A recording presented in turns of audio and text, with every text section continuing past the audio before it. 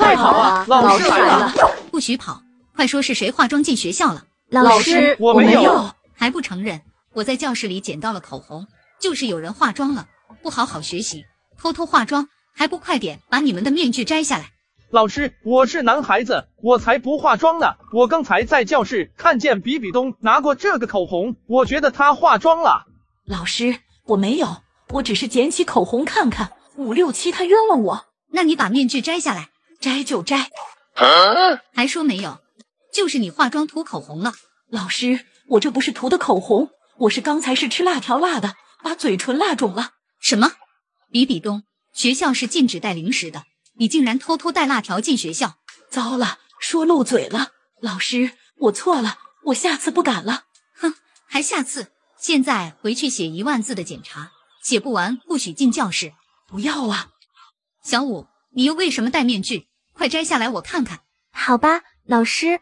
老师，一定是小五化妆了，不然他怎么能又戴面具又戴口罩呢？嗯，小五把口罩也摘下来。好吧。小五，你的脸怎么这么红？是不是偷偷抹腮红了？不是的，老师，我感冒发烧了，怕传染给同学们，所以才把口罩、面具都戴上了。哎呀，你快去医院吧，现在感冒的同学太多了，小伙伴们也要多注意身体。好的，谢谢老师。老师，我就不用检查了吧？我可是男生。不行，所有人必须都检查后才能放学回家。快摘下面具。好吧。五六七，你脸上的红色印记是怎么回事？是不是偷偷用口红在脸上画了？红色印记？哦，老师，我知道了。小强，你这支钢笔可真好看。那是，这是我妈妈特地给我买的音乐钢笔，还能发出音乐呢。你们听。五六七，你为什么抢我的钢笔？快还给我！不还，我先玩几天。你别跑，你快停下来！小强大笨蛋，你是追不上我的。事情就是这样，我撞树上把脸撞肿了，所以才有红色印记。哼，一是抢同学东西，二是奔跑不注意安全不看路，回家也写一万字检讨，写不完不许进教室。不要啊，老师，我知道错了。还不快回去！千仞雪，现在就差你了，快摘下面具！老师，我能不能不摘面具？不行，不摘明天就叫家长来学校。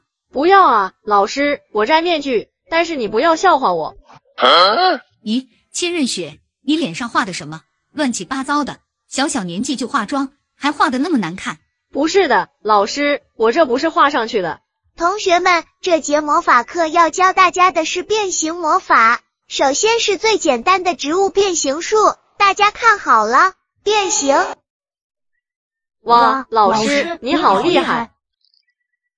好了，变形术的魔法咒语是。现在给大家五分钟时间记忆咒语，一会我来考察。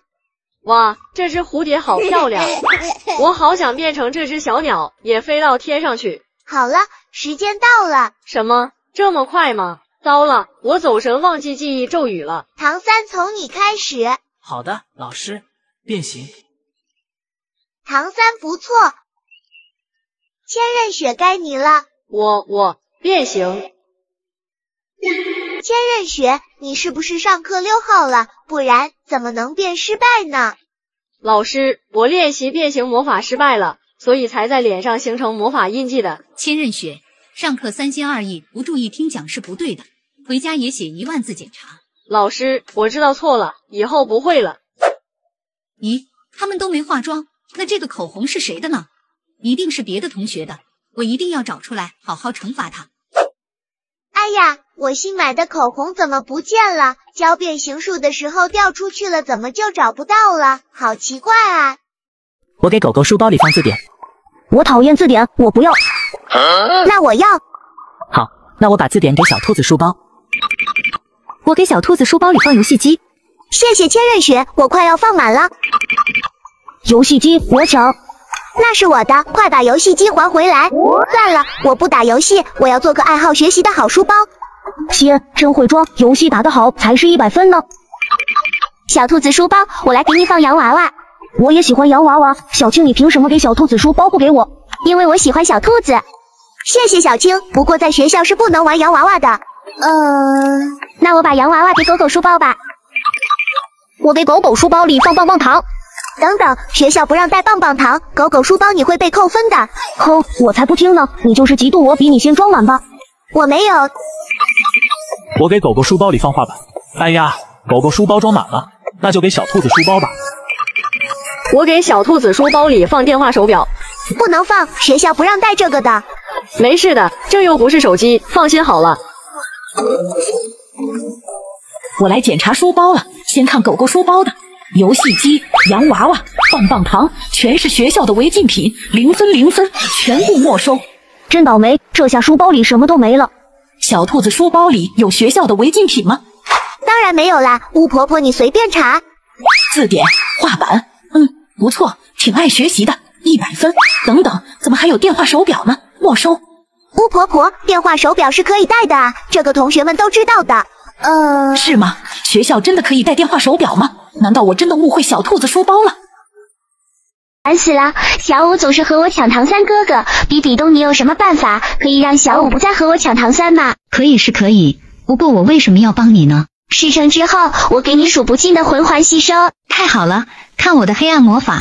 耶，这是魔法蝴蝶结，只要小五戴上，他就会变得非常讨厌之前喜欢的人。哟，这可真是个好东西！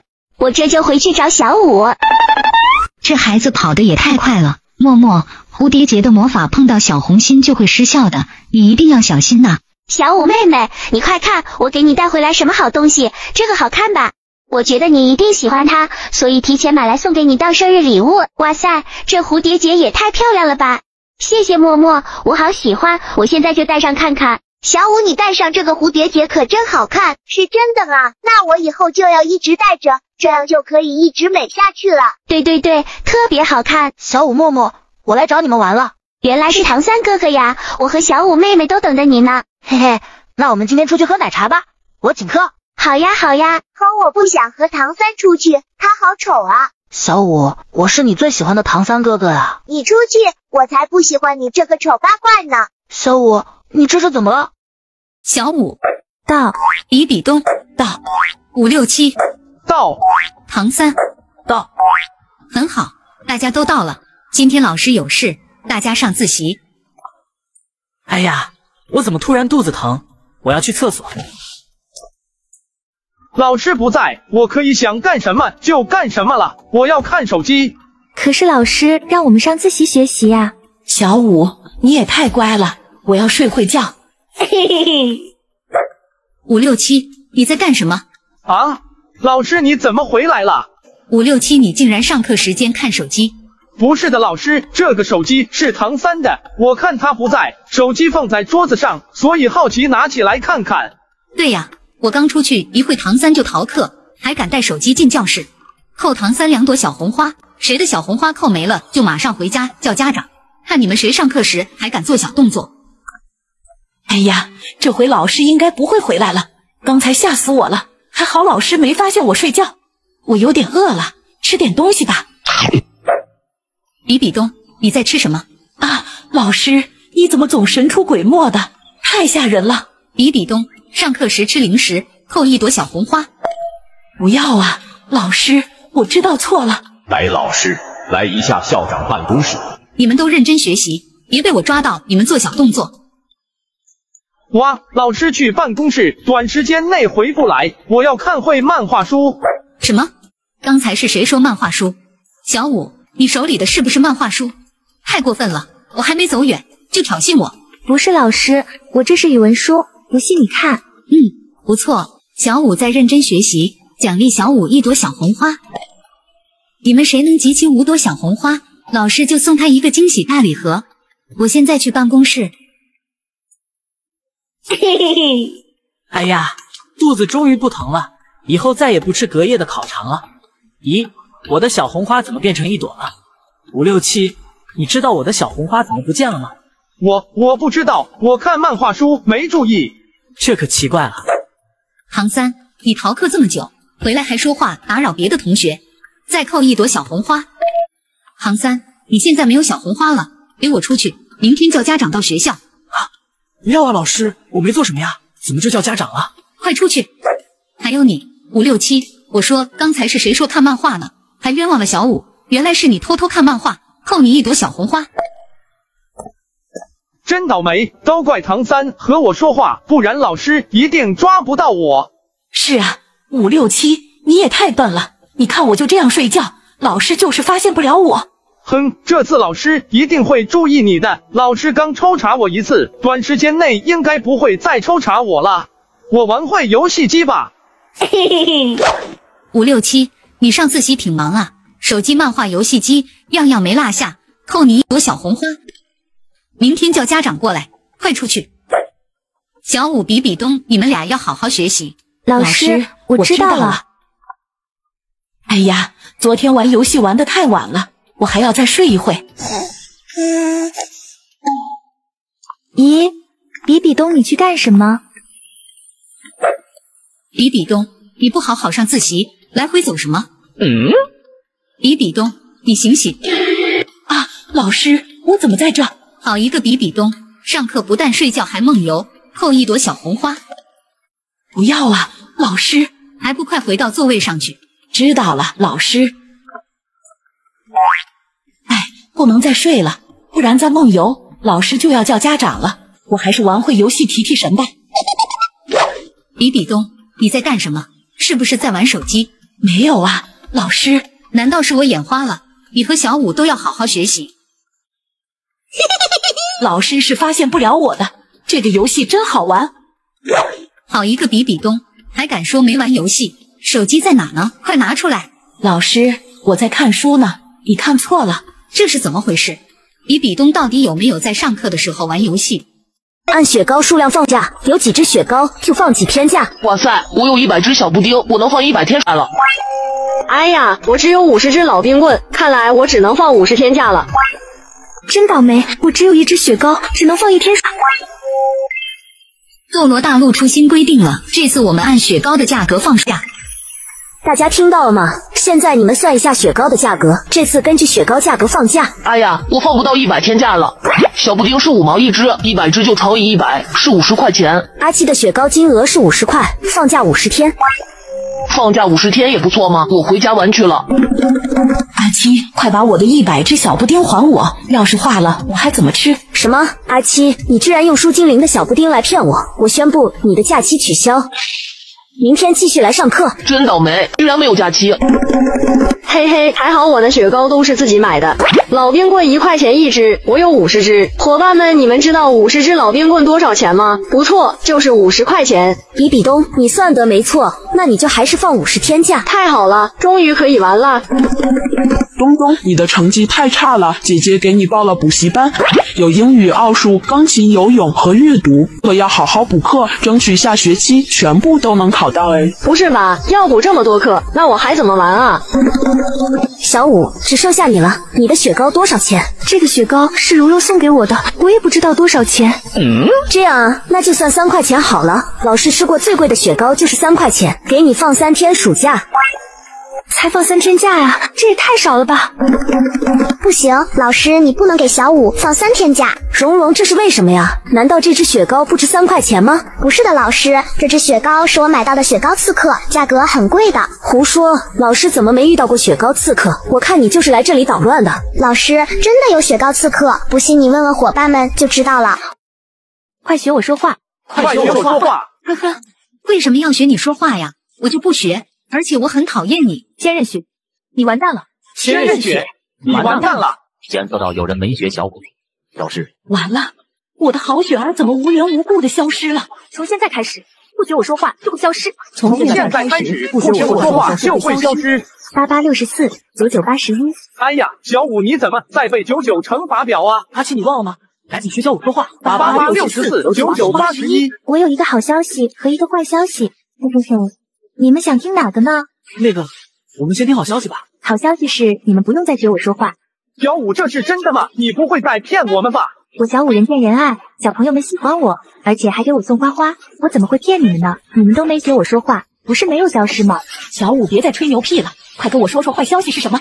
坏消息就是你们要学做我的动作，不然的话，你们懂的。嘿嘿，什么？要我比比东大魔王给你当猴耍？我不信，我绝不学你动作。不信的话，你可以试试。我跳，我们也跳。既然做到有人能学习，消失。幸好我听了小雪的话，不然消失就是我们。好了，坏蛋比比东和千仞雪都给打跑了，我该看书学习了和去运动了。现在开始我干什么，你们就干什么。小五，你就放过我和阿七吧，我们一搞学习，头就会疼的。睡在这里的乞丐是哪里来的？真的太臭了！你怎么了？还好吗？我给你这颗仙草，我希望你能好过来。前几天我受了重伤晕倒在海边，有位好心女孩送了我一颗仙草，我才慢慢好起来。万万没想到救的人是他，他的外表是如此的英俊。其实我的真实身份是海神，之前被恶魔大鲨鱼攻击过，受了重伤，还好这颗仙草恢复了我的法力。哇，看起来好强大的一样。我今天来这里是为了表示感谢，我想娶这位女孩作为妻子，并且带她飞向神界。真的太好了！如果我上了神界，修炼为神，以后我想怎么欺负史莱克的人就怎么欺负。我不想再隐瞒了，我实在忍不住了。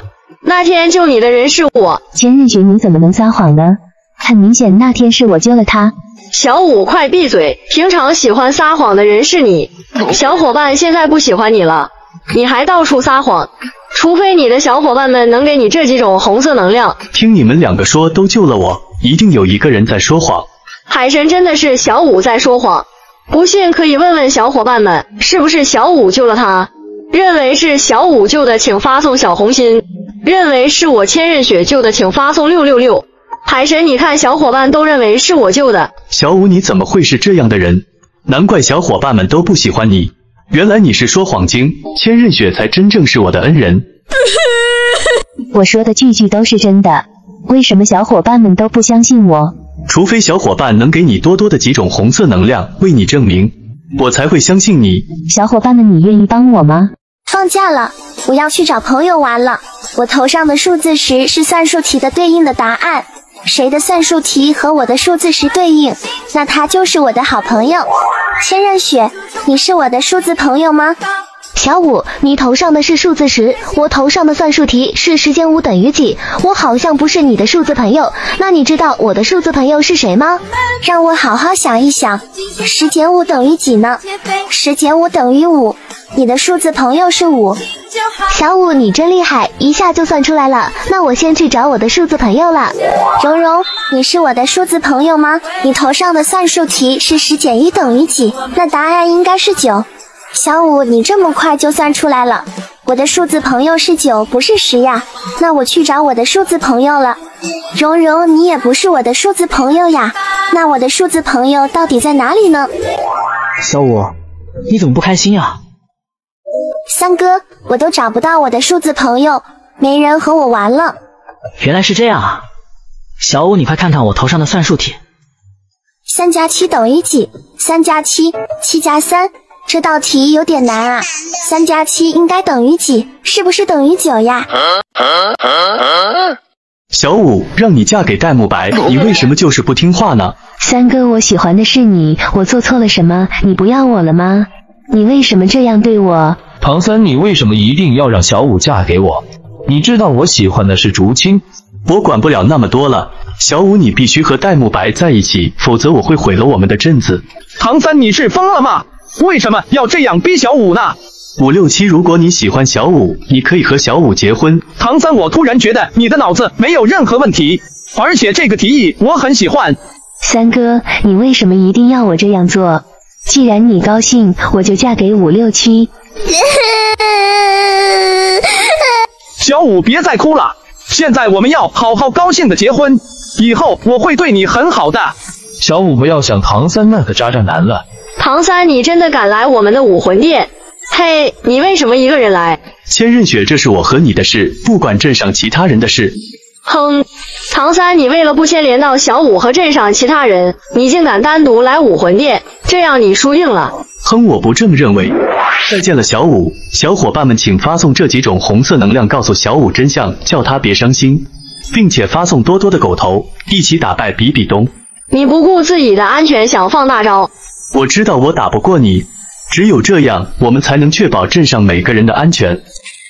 小五，小五，我是你三哥呀，别再睡了，快醒醒！可恶的比比东说他给你喝了忘记水，你真的忘记我了吗？我的魂力被比比东封印了，他逼我一定要和他的女儿千仞雪结婚，不然他就来吸取你的十万年魂环。我的魂环红色能量快要耗尽了，现在已经不是比比东的对手了，我只好先答应和千仞雪结婚，带着剩下的一点魂力来到你的梦里，希望能呼唤醒你。你说过你这辈子都不会忘记我，只要你醒来，把我留在家里的昊天锤带给我，这样我就能打败比比东。还有，你一定要向小伙伴们收集这几种红色能量和狗头保护自己。我的魂力快没了，我要走了，请记得来这个山洞来找我啊！头好痛啊！我刚梦到梦里那个英俊的男孩是谁？他还说我这辈子都不会忘记他，可是为什么我想不起他是谁了呢？为什么一想到他说要和别人结婚我就心痛？我该怎么办？天啊，我好头疼呀！我终于想起来了，原来他是我唐三哥哥。小伙伴们，请有多余的几种红色能量送给三哥，保住他的魂力，并且发送几个狗头给小五做保护。谢谢你们了，唐三哥哥等着我，我来救你了。母亲大人，我明天真的会和唐三结婚吗？开心的我今晚都睡不着觉了。雪儿当然是真的了，走，我们先去挑选婚纱吧。三哥，快醒醒，小五救你来了。千仞雪，请遵守小区的规章制度，晚上不能独自出门。我就要出去，管天管地，还管到我千仞雪头上了。再这样，别怪我不客气了。千仞雪，你再这样，我们就采取强制措施了。来来来，让我看看你们有多强制。今天就算耶稣来了也留不住我，我说的。千仞雪阿姨，天黑了不要独自出门，晚上路上会有坏人的。哪里来的小屁孩？哪里凉快哪待着去。阿姨，你这样就不对了呀。老师教导我们不要独自出门，少和陌生人说话。小屁孩，你管得着吗？我乐意。自己晚上出门走丢了怎么办？你对得起每天上班的爸爸妈妈吗？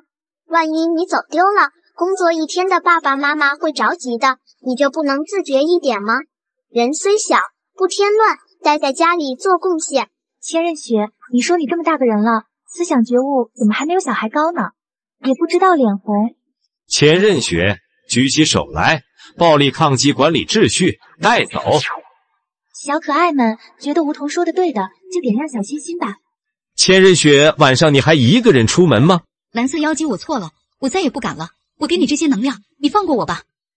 既然你知道错了，还给我了这些能量，我就原谅你吧。哎呀，我的鱼尾巴怎么不见了？咦，这里怎么有个兔耳朵？一定是偷走了我鱼尾的人落下的。小五，是不是你拿走了我的鱼尾？我的鱼尾不见了，没有鱼尾我会失去魔法能力的。快把我的鱼尾还给我！冰美人鱼，不是我拿了你的鱼尾，是你冤枉我了。冰美人鱼，这是不是有什么误会？小五最懂事了，他是不会拿走你的鱼尾的，那就奇怪了。我昨天晚上睡觉前，我的鱼尾还在；今天早晨我醒来时，我的鱼尾就不见了。而且我还在我的房间发现了这个兔耳朵，这个肯定是当时那个人拿走我鱼尾的时候不小心落下的。整个史莱克小镇有兔耳朵的就只有小五。昨天晚上我的兔耳朵就不见了，我请蓉蓉过来就是帮我找兔耳朵的。这其中肯定是有什么误会，这可怎么办啊？怎么才能找到我的鱼尾啊？冰美人鱼、小五，你们别着急，我们用魔法阵来看看到底是谁动了你们的鱼尾和兔耳朵吧。小五，你用红色能量，冰美人鱼用星星能量，我用狗头能量，咱们一起发动魔法阵，看看到底是谁拿走了鱼尾和兔耳朵。妈妈，你怎么受伤了？哎，别提了，我去星斗森林抓魂兽赚钱，现在的魂兽太厉害了，我竟然都打不过了。小雪，以后没法给你买新衣服了，妈妈太没用了。妈妈，你别着急，我听说冰美人鱼的魔法之所以那么厉害，是因为它的鱼尾。如果你有它的鱼尾，你也会和它一样厉害的。可是我要拿走它的鱼尾，会不会被它冻成冰块？妈妈，你可以这样做，你先拿走小五的兔耳朵，然后再去拿冰美人鱼的鱼尾，记得把兔耳朵扔到冰美人鱼那。女儿，你太聪明了，你看我把鱼尾拿回来了，他们永远都不会知道是我做的。原来是比比东干的，他先偷走了我的兔耳朵，又偷走了鱼尾，想诬陷我。我们赶快去找比比东，看我怎么教训他。冰美人鱼的鱼尾太强大了，现在没有魂兽是我的对手。我要是能永远拥有这个鱼尾就更好了。比比东果然是你拿走了我的鱼尾。小五，冰美人鱼，你们怎么找到我的？哼，小伙伴们都告诉我们了，比比东，你这样不经过别人同意就拿走别人的东西是不对的。小五，冰美人鱼，你们听我说，我知道错了，我真的是太羡慕冰美人鱼强大的魔法了，真是对不起。你想拥有强大的魔法，我可以教你，你自己付出努力来练习，不能偷偷的窃取别人的东西。对不起，冰美人鱼，我这就把鱼尾还给你。三哥，小梧桐，怎么连你们都不认识我了？谁在这里哭得这么伤心？是你吗，小五？你这是怎么回事？到底是谁欺负你了？不要跑呀，小五！小五，到底发生什么事了？竹青，不要害怕，我是小五，是千仞雪把我伤成这样的。现在他假装成我的样子，还住在我家。这个千仞雪实在太过分了，把小五伤成这样，还住在小五你家，真可恶！唐三和小梧桐都没有分辨出来吗？难道连唐三都不知道千仞雪是假的吗？是的，小梧桐和三哥都说千仞雪是我，还说我是假的。更让我伤心的是，三哥竟然相信千仞雪的是真的，我是假的，还让我赶紧走，不要再打扰他们家人的生活。竹青，我才是他们真正的家人呀！你放心，小五，我一定会帮你让千仞雪露出真面目的，让你重回到唐三身边。亲爱的小五的小伙伴们，你们有多余的这几种红色能量，让小五变回原来的样子吗？还有丢给千仞雪多多，他害怕的狗头，让他变回原形，让唐三早点知道真相。太谢谢你了，小五，我们走，现在就和你去找千仞雪。